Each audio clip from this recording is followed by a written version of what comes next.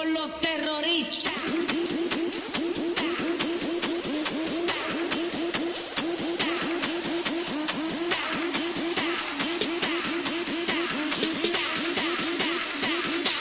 and do the Harlem Shake.